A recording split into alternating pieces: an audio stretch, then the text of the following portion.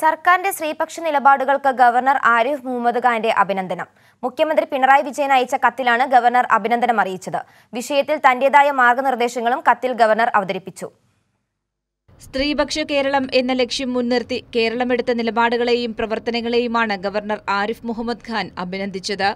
സംസ്ഥാന ജില്ലാ തലങ്ങളിൽ സ്ത്രീധന നിരോധന ഓഫീസർമാരെ നിയമിക്കുകയും സർക്കാർ ജീവനക്കാർക്കിടയിൽ സ്ത്രീധനത്തിനെതിരെ പ്രതിജ്ഞയെടുപ്പിക്കുകയും ചെയ്യുന്ന സമ്പ്രദായം നടപ്പിലാക്കിയതിനെ ഗവർണർ ശ്ലാഘിച്ചു.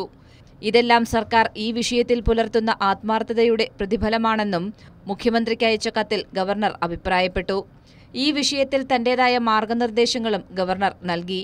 ജനപ്രതിനിധികളുടെ ക്രിയാത്മകമായ ഇടപെടലുകൾ ആവശ്യപ്പെട്ട് അവരെ അഭിസംബോധന ചെയ്യുന്ന കത്തിന്റെ കോപ്പിയും ഗവർണർ മുഖ്യമന്ത്രിക്ക് കൈമാറി. വിദ്യാർത്ഥികൾക്കിടയിൽ അവബോധം സൃഷ്ടിക്കുന്നതിനായി സംസ്ഥാനത്തെ സർവകലാശാലകളുടെ വൈസ് ചാൻസലർമാരുടെ യോഗത്തിന് ഗവർണർ തന്നെ നേതൃത്വം നൽകിയ വിവരവും അദ്ദേഹം മുഖ്യമന്ത്രിയുടെ ശ്രദ്ധയിൽപ്പെടുത്തി. കൈരളി ന്യൂസ് തിരുവനന്തപുരം.